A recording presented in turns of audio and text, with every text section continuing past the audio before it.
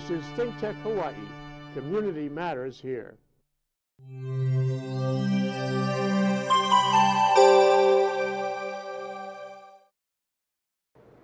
Aloha, welcome again to Condo Insider, Hawaii's show about association living. I was thinking about it earlier today. We've done about 70 episodes over the last year and a half approximately. We've had a lot of interesting panelists. We've had a lot of interesting questions. I want to remind our audience that if you want to join our conversation or have a question, you always feel free to call our hotline at 808 374 2014. The last couple of weeks, we've been talking about disasters in condominiums, mostly related to fire.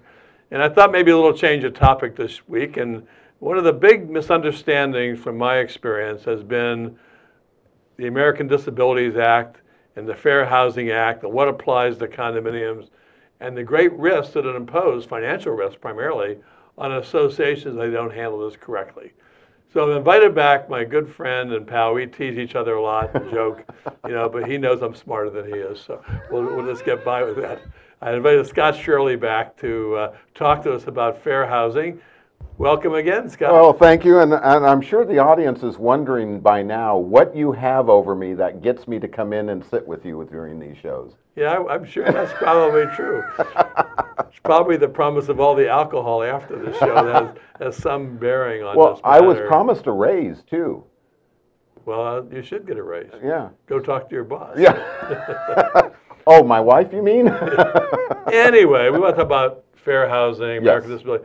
Before we get into the specifics of that, just give me a little background in that area about your background in fair housing and Well, that type of thing. Actually, my background is, and I've studied, written, and taught about it for over 20 years, is actually what you started the show with.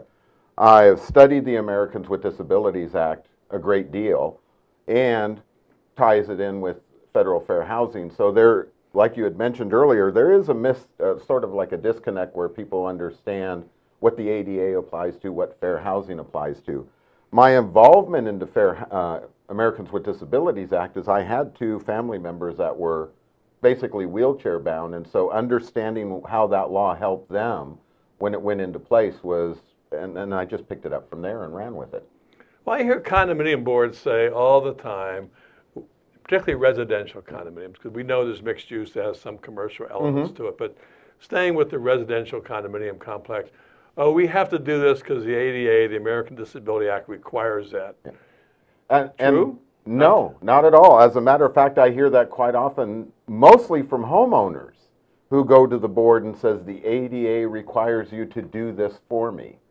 And as we mentioned, the I always tell people the easiest way to separate ADA and fair housing persons with disabilities is to think fair housing is housing.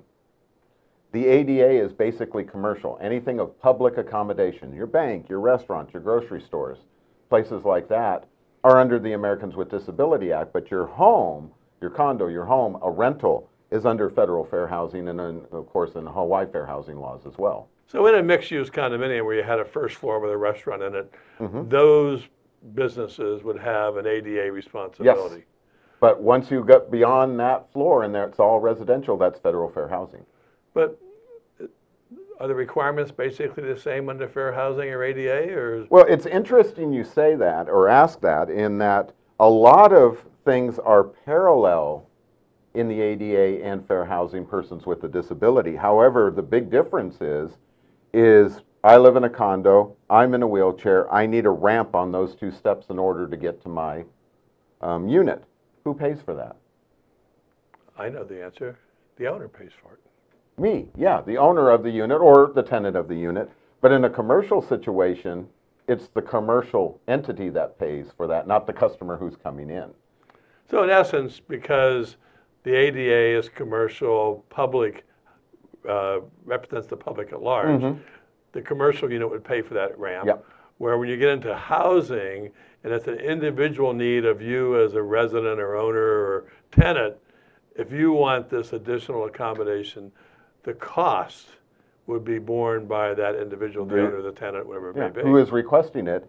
And of course, the board can have certain rules as well as it must be done by a licensed contractor and things like that. You don't, it's like very common, people think wheelchairs come in one size.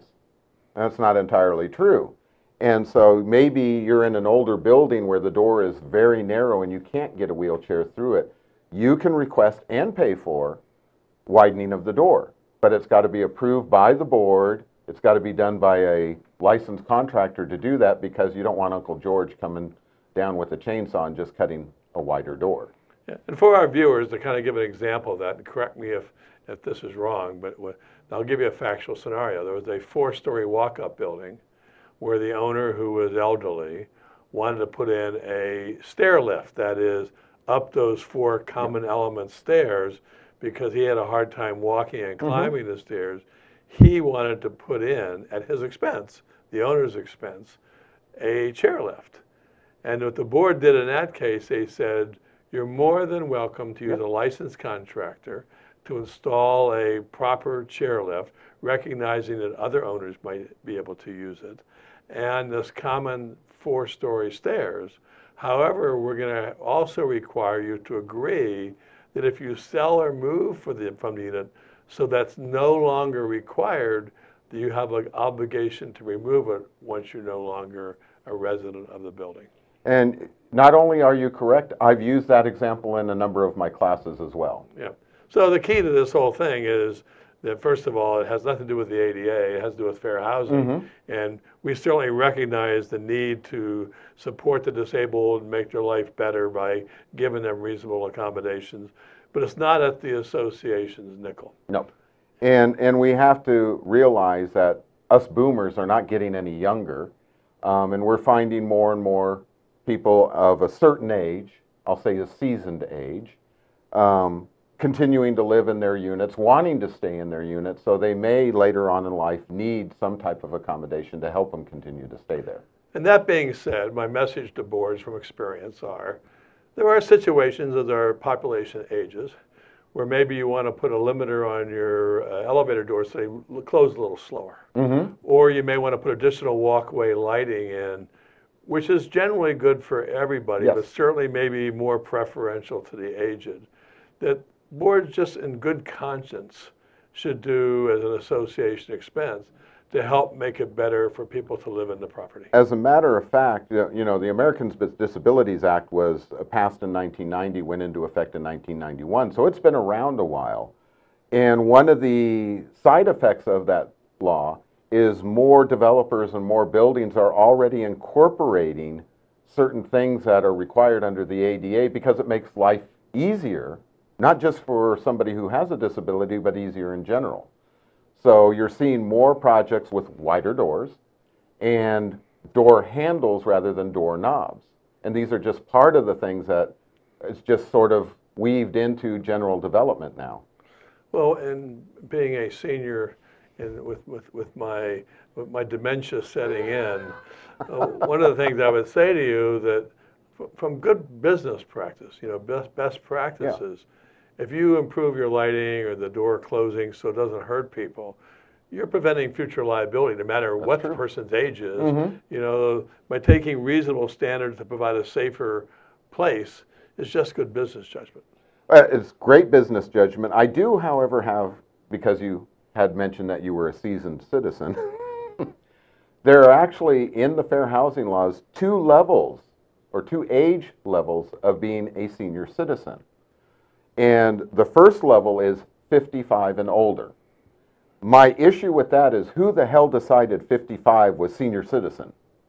And I'm getting more upset about that because I'm getting closer to that age. And a couple years ago, I got my AARP card. So who decided 55 was a senior citizen? Maybe they were talking IQ. No, that could be, which Yeah. means I should have gotten my AARP card much earlier. Yeah, that, that was, that was my thought.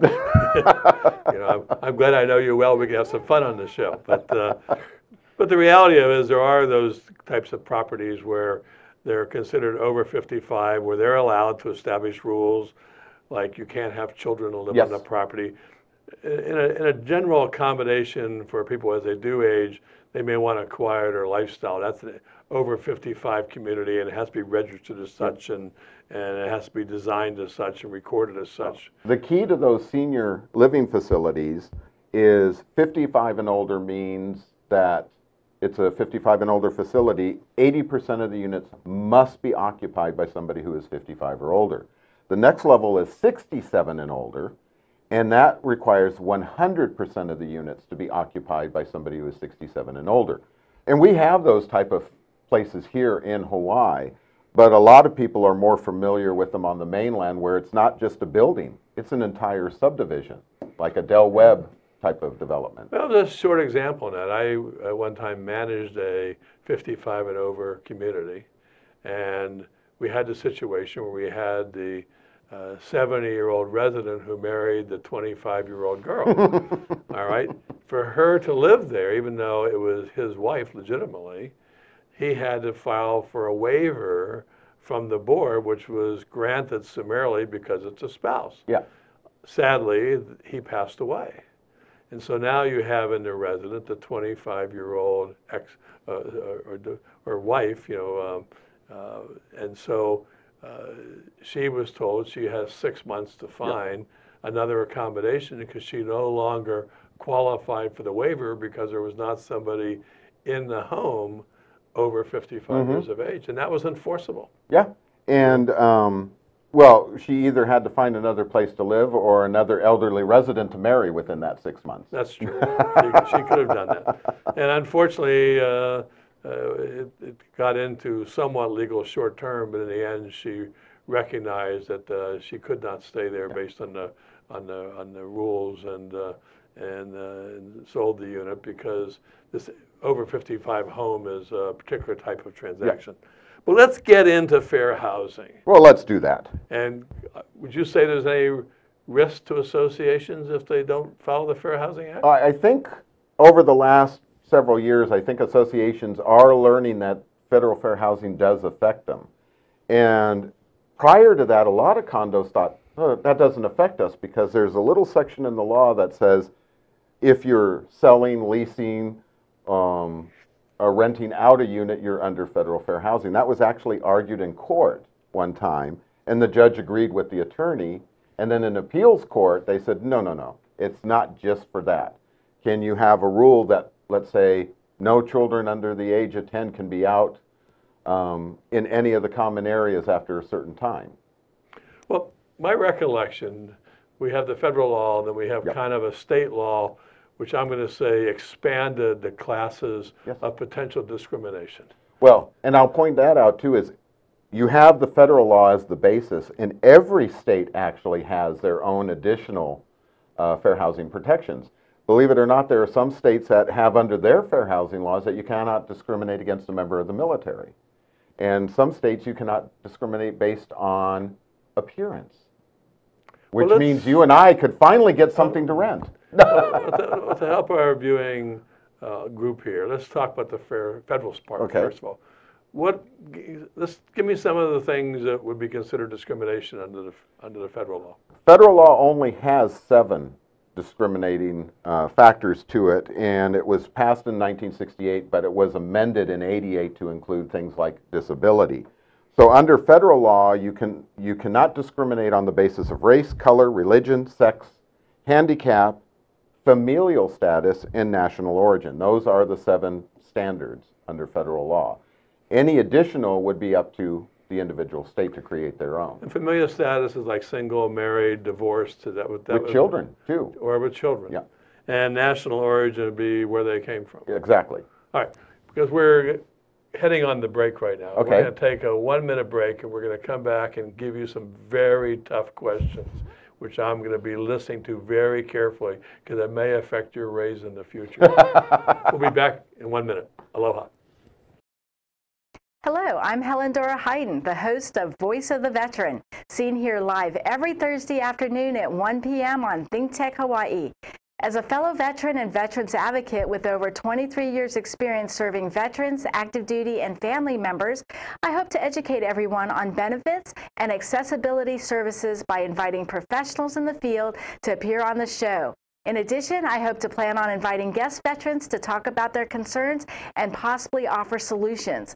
As we navigate and work together through issues, we can all benefit. Please join me every Thursday at 1 p.m. for the Voice of the Veteran. Aloha!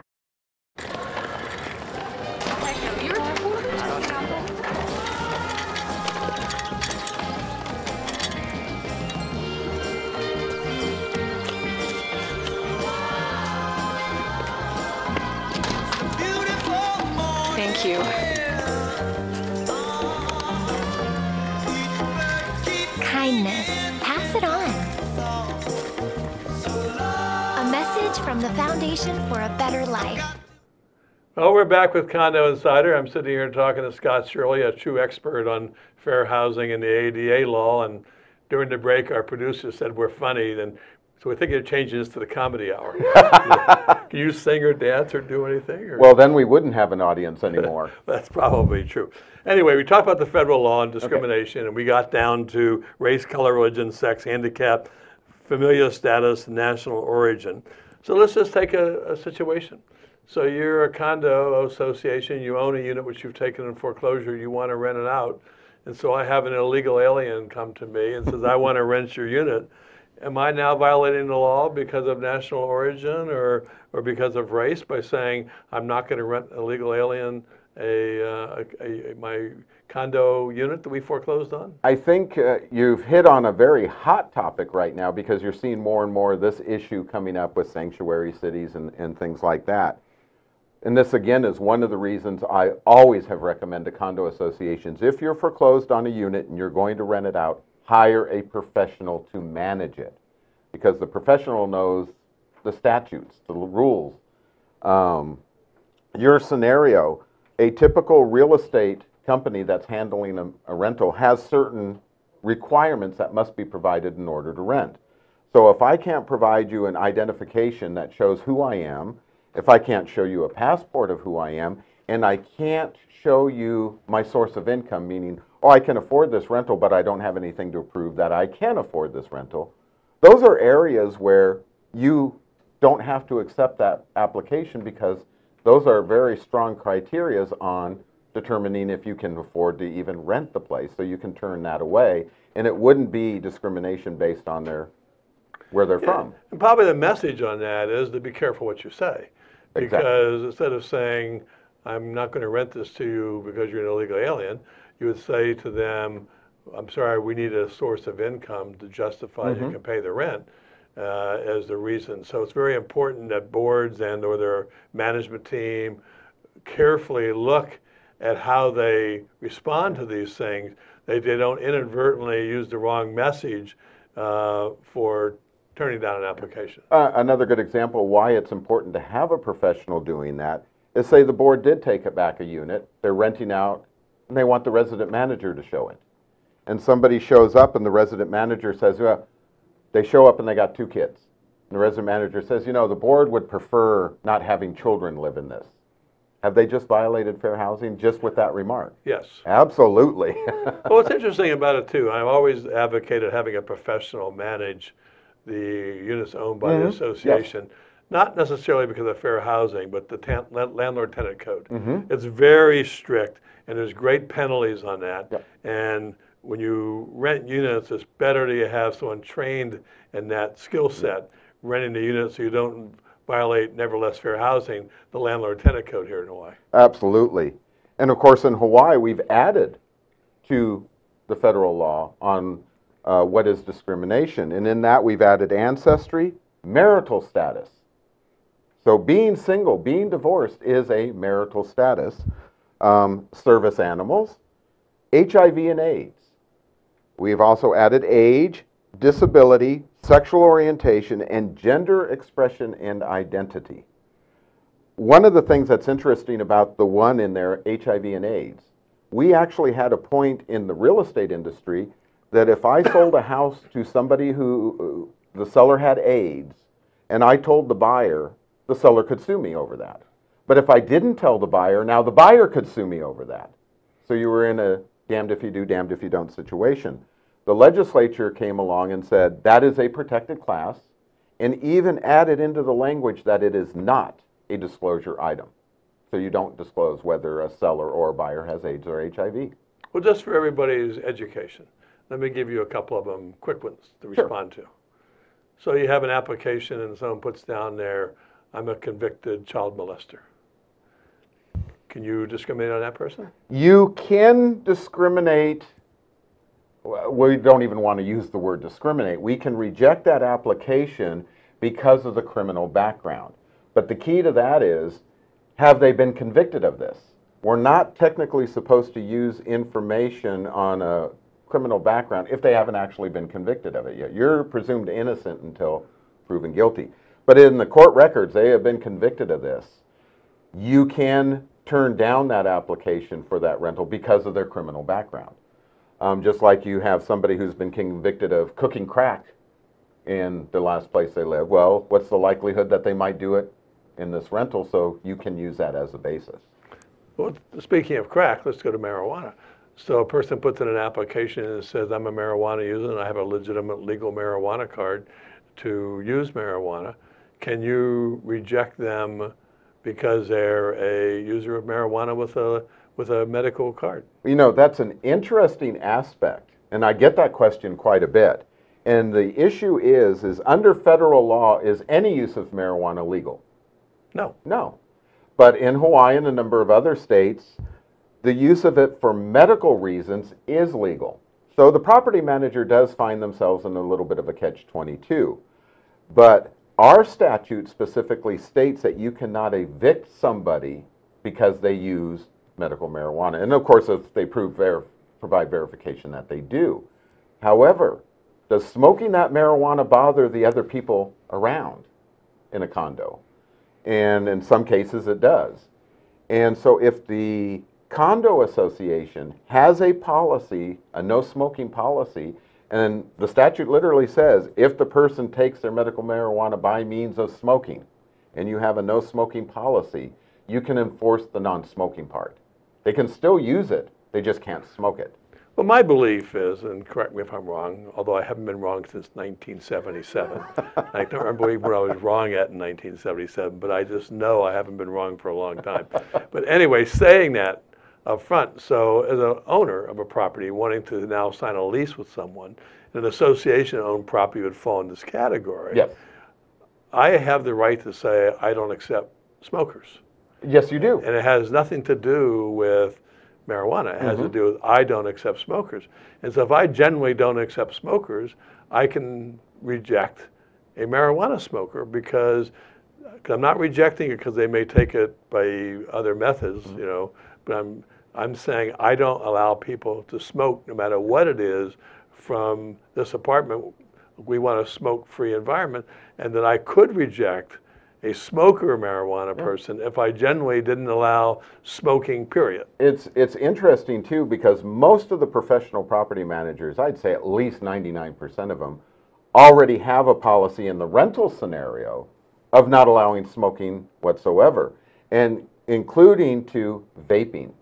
They start they added vaping onto that, and of course, as you know now, in the state smoking laws, vaping is considered the same as smoking a cigarette. So wherever a cigarette is banned, so is vaping. Yeah, that's, I understand the issue, and I think you're going to do a show coming up here shortly with an expert on the smoking issues in general, what boards can do or not do with respect to banning smoking on the lanais or in the apartment, and that, that's another topic in itself. So when you see complaints made against boards or associations, what do you see the most common fair housing uh, complaints that are made? It used to be, up until a couple years ago, familial status, people with children. And what was happening is they were creating rules that were specific only to people who had children. Common one in the house rules is children can't play in the common areas, hallways, et cetera, et cetera. HUD says that's a violation of fair housing. And it's a very easy fix. Nobody can play in the hallways, common areas. Or another aspect of that is um, children can't roller skate, bicycle, et cetera, et cetera. Just take the word children out and have it nobody, uh, not allowed, you know, things like that. The most common one I see is a, and I'll, I'll use this as an example, it varies, is that children under 10 can't swim in the pool by themselves. Aha! But that's an important thing there. And I always recommend condos to check with their master policy carrier because some of them already have rules that they want to see on that pool sign. Um, because this is a life and death type of scenario, particularly when it comes to jacuzzis as well or hot tubs. So I always recommend they check with their master policy holder. They might be surprised to find that they actually have some recommended rules. Well, there is. that. things I see is that, you know, that the issue of swimming in a pool is, what if you had a Olympic training kid who's under 10 years Yes. of old, who's experienced swimmer? The really issues become, I hate to say, playing in a pool by anybody using an inner tube, or it comes to the situation of, you shouldn't be allowed to be in a pool unless you uh, considered ex- an experienced swimmer. If you're not an experienced swimmer, then you should have a guardian or, uh, or uh, So- supervision or whatever what word you want to Then you wonder that little, some associations have the nice fancy pool, the jacuzzi, and then that little wading pool that they have for children. Does that mean an adult isn't allowed to go in there? Yeah, that's probably, that's probably true, But- but, but, so, to avoid these potential fair housing claim- claims, which is done by the Hawaii Civil Rights Commission, what do you recommend associations do? I recommend that associations, if there's fair housing training offered, either through CAI or any of the other organizations, take it. Um, also, when you come up against a fair housing issue at your association, talk to your attorney. There's a reason, and, and especially somebody who specializes in that area. Because a fair housing case can really get dragged out, it can get nasty. We saw one association on Maui ended up not only the, the fine, which starts out at 16,000, they had to pay out $200,000 to the person that they did wrong to. Yeah, the big thing I see is even if the board is right in a somewhat uh, a vague complaint, the Civil Rights Commission likes to settle these matters. Yeah. And what they always demand is the board attend fair housing training. So it takes eight hours of your time. So my, we're at the end of the show, so what, uh, my advice to them is use professional advice, but when you think about fair housing issues with an association and the state law, look at what the protected classes are and make sure you take those into consideration before you make policy, establish rules, or make fines, whatever it may be. So, do you have any additional comments on that? Um, I promise not to discriminate against you because of your age. All right.